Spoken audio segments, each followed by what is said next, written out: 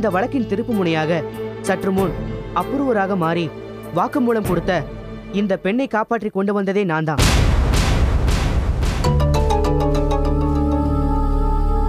இந்த வழக்கில் மிக முக்கிய சாட்சியமாக அதாவது போதைப் பொருளை சிலரின் தூண்டுதலால் ராஜலட்சுமியின் வீட்டில் கொண்டு போய் வைத்த அந்த பெண் சிலரால் கடத்தப்பட்டு சிறை வைக்கப்பட்டார்.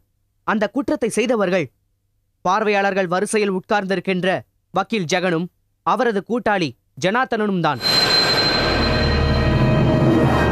வக்கீல் ஜெகன் சொல்லிதான் இந்த அம்மா ராஜலட்சுமி அக்கா வீட்ல போய் அந்த போதைப் பொருளை வச்சிருக்காங்க. இந்த விஷயம் வெளியே தெரியக்கூடாதுங்கிறதுக்காக வக்கீல் ஜெகனும் அவரோட கூட்டாளிகளும் இந்த அம்மாவை கடத்தி கொண்டு போய் வச்சிருந்திருக்காங்க.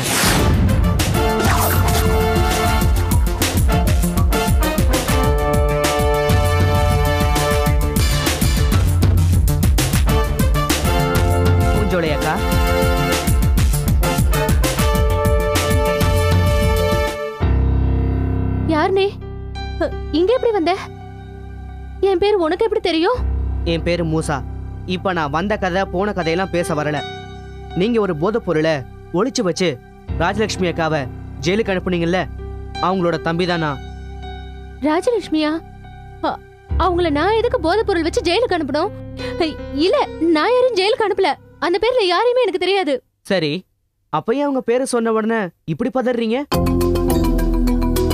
உங்களுக்கு ராஜலட்சுமி தான் தெரியாது. வக்கீல் ஜெகன தெரியும்ல? அவங்க கூட்டாளி ஜனார்த்தனனையும் தினகரனையும் தெரியும்ல? சரி. உங்களையே இங்க அடைச்சு வச்சிருக்காங்கனாவது உங்களுக்கு தெரியும்ல? இது வரைக்கும் நான் சொன்ன எல்லா விஷயமும் உங்களுக்கு தெரியுங்கிறதும் எனக்கு தெரியும். மறுபடியும் தெரியாதுன்னு பொய் சொல்லாதீங்க. சரி நான் பொய் சொல்லல. எனக்கு எல்லாம் தெரியும். உண்மைதான். ஆனா எதுக்காக அதை நான் பண்ணேன்னு உனக்கு தெரியுமா? பணத்துக்காக. பணத்துக்காக தான் அந்த பணத்தை வச்சு என் குழந்தையோட உயிரை காப்பாத்துறதுக்காக. இருக்கலாம் அதுக்காக? அந்த புண்ணியத்தை விட ஒரு மிகப்பெரிய பாவத்தை செஞ்சிருக்கீங்க. என் குழந்தையோட உயிருக்கு முன்னாடி எனக்கு எந்த பாவமும் பெருசா தெரியல. இல்லங்க. நீங்க புரியாம பேசுறீங்க. உங்க குழந்தையோட உயிரை காப்பாத்த எத்தனையோ சமூக நல அமைப்புகள் இருக்கும்போது நீங்க அவங்கள போய் பார்க்காம உதவி கேட்காம இப்படி அடுத்தவங்க வாழ்க்கையோட விளையாண்டது மிகப்பெரிய தப்புன்னு என்னமா உங்களுக்கு புரியல? சரி நடந்தது நடந்து போச்சு. இப்பவாது உண்மையை ஒத்துக்கிட்டு ராஜலட்சுமி அக்கா விடுதலையாக ஹெல்ப் பண்ணுங்க. என்னப்பா விளையாடுறியா? நான் அப்படி கட்சி மாறினா நான் இத்தனை நாளா என் குழந்தைக்கு பட்ட பாடெல்லாம் வீணா போயிடாதா? நீங்க கட்சி மாறலனாலும் இது நாள் வரைக்கும் நீங்க பட்ட பாடு வீணா தான் போக போகுது. இத பாருங்க. இந்த கேஸ்ல ஜெகன் கோஷ்டி ஜெயிச்சாலும் தோத்தாலும் உங்க உயிருக்கு உத்தரவாதம் இல்ல. அது உங்களுக்கு தெரியும்ல? என்ன தம்பி சொல்ற?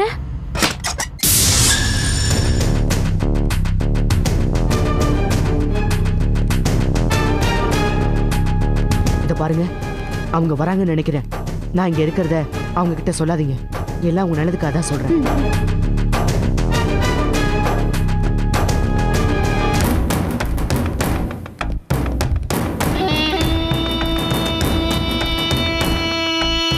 என்ன புஞ்சல?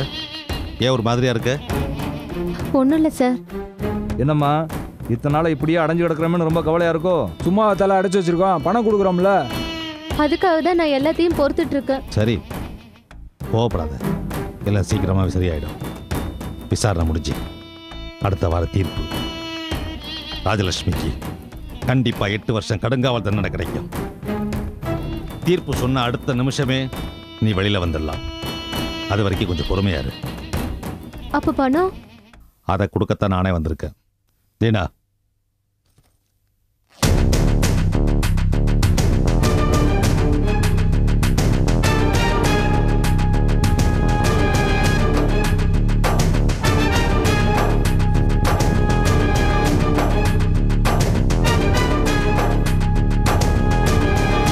கொஞ்சம் இல்ல. பணத்தை பத்திரமா வச்சுக்க. ஜாக்கிரதையா இரு.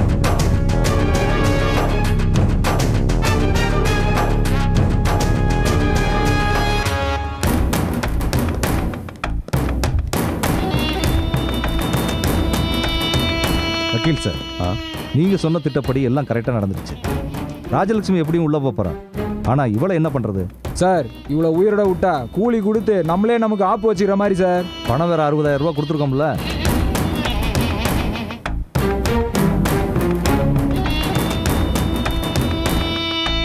சரி. தீர்ப்பு வரட்டும் இவளை போட்டு தரலாம் வக்கீல் சார் இப்பதான் நீங்க எங்க வழிக்கு கரெக்டா வந்திருக்கீங்க. நீங்க ஒன்றும் கவலைப்படாதீங்க. போட்டு தள்ளுறதுலாம் எங்களுக்கு கை வந்த கலை எந்த தடையும் இல்லாமல் முடிச்சிடுறோம். அந்த நம்பிக்கை எனக்கு நிறையவே இருக்கு. ம் வாங்க.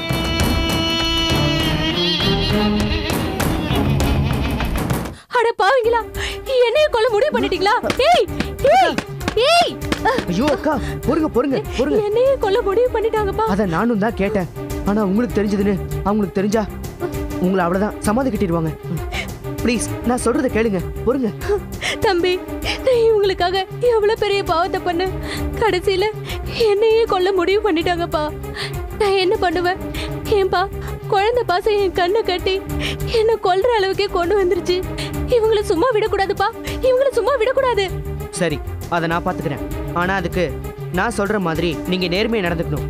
நடக்கிறப்பா நீ என்ன சொன்னாலும் நான் கேட்டு நடக்கிறேன்.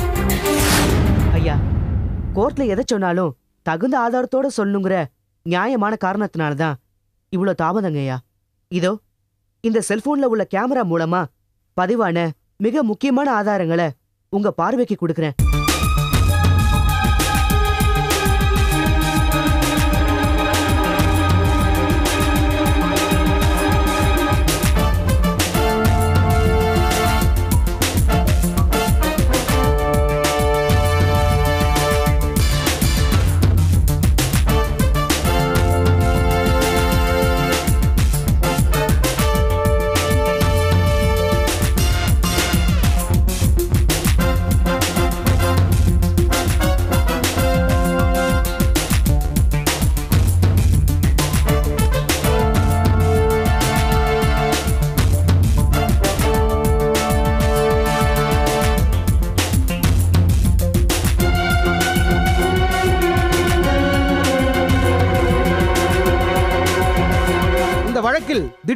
காரணமாக அப்புர்வராக மாறிய பெண்ணின் ஒப்புதல் வாக்குமூலமும் அதனைத் தொடர்ந்து ராஜலட்சுமியின் பக்கத்து வீட்டில் வசிக்கும் மூசா ஒப்படைத்த செல்போனில் பதிவான காட்சிகளும் இந்த வழக்கின் போக்கை மாற்றி உண்மையான குற்றவாளிகளை அடையாளம் காட்டியிருக்கின்றன.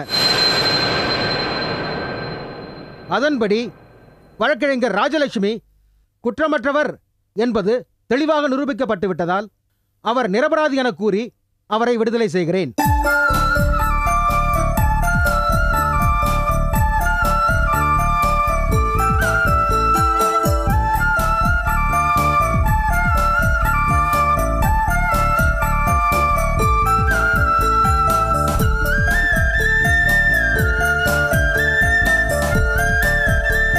வக்கீல் ஜெகனும் கிட்னி புரோக்கர் ஜனார்தனனும் உண்மையான குற்றவாளிகள் என்பதால் அவர்களை உடனே கைது செய்யும்படி போலீசாருக்கு இந்த கோர்ட் உத்தரவிடுகிறது.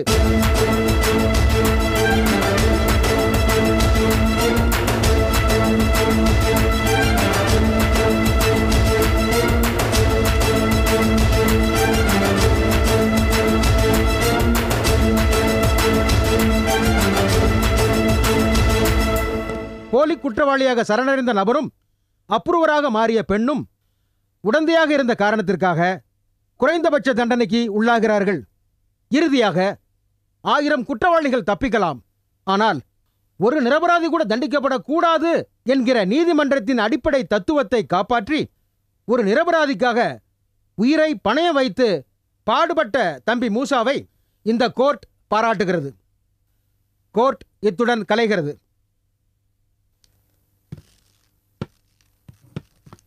அப்பா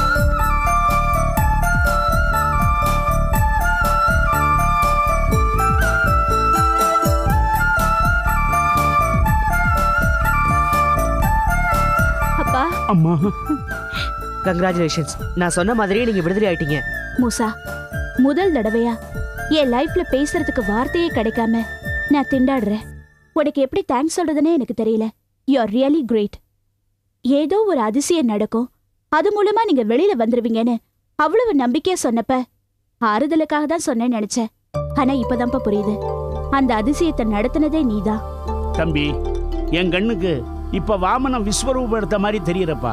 என் குடும்பத்துக்கு பெரிய நிம்மதியை கொடுத்துருக்கப்பா.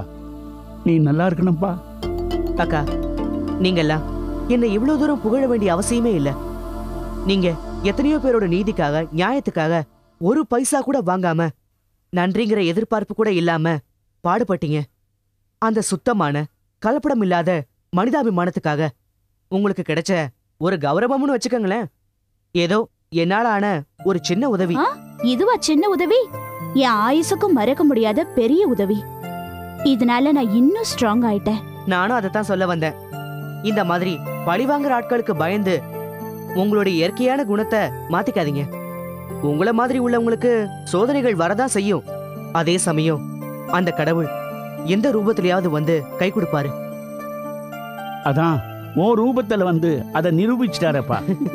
சரி அங்கிள் வாங்க போலாம். பாமா ம்.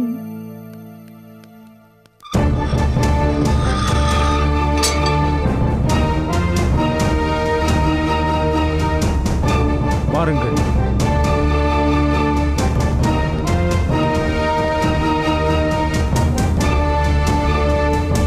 இதுதான் அலாவுதீன் வீடா? அலாவுதீனும் அரண்மனையில தான் வாழ்றாரு போல் இருக்கு.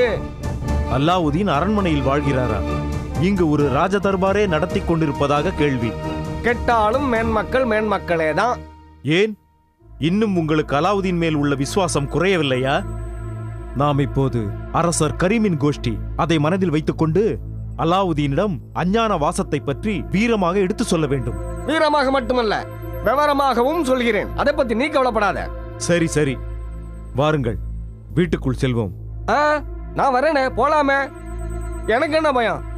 நான் என்ன சலீம்னு நினைச்சியா?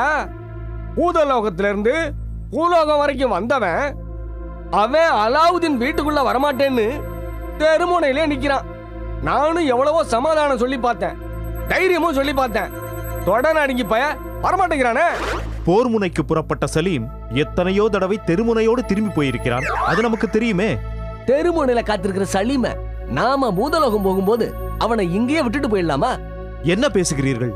நம் கோபத்தை காட்ட இதுவா நேரம்? சலீம் இதை சாக்காக வைத்து அல்லாவுதீனுடன் கைகோர்த்து விட்டால் அல்லாவுதீனின் பலம் அதிகரித்து விடும். அல்லாவுதீனை பார்க்க நம்மளோட வர பயப்பட்டவன் அவரோட எப்படி சேருவான்?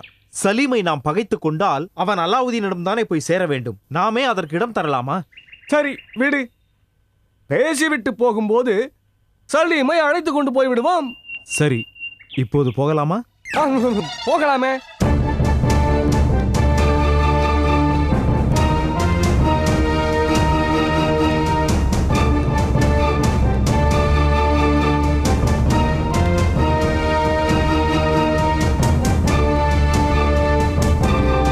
தம்பி.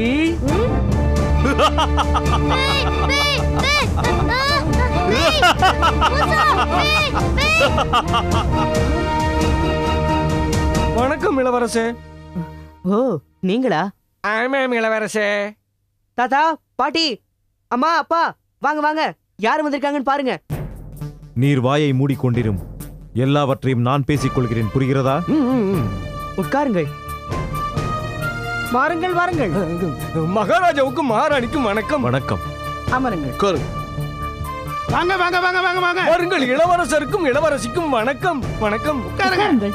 நன்றி. என்ன ரசூல்? திடீர் விஜயம்? சில ராஜாங்க விஷயங்களை தெரிவிக்கும் பொருட்டே யாம் இங்கு வந்தோம். தூதுவர்களை தவிர்த்து அமைச்சர்களை நேரில் வர வேண்டிய விஷயம்? பூதலோக அரச பரிமாணத்தில் ஏதாவது பிரச்சனையா? எதிரிகளின் தொல்லையா? இல்லை பகைவரின் அச்சுறுத்தலா?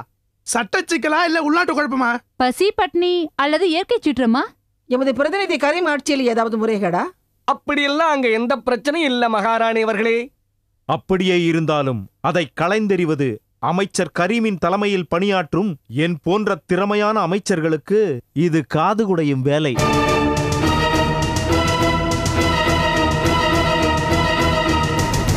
இப்போது நாங்கள் இங்கே வந்தது வரும் அமாவாசை இரவோடு நீங்கள் அனுபவித்து வந்த பூலோக வாசம் முடிவடைந்து அஞ்ஞான வாசம் எனும் மறைந்து வாழும் வாழ்க்கை ஆரம்பமாகப் போகிறது என பேரரசர் கரீம் உங்களிடம் சொல்லச் சொன்னதை சொல்லத்தான் வந்தோம்.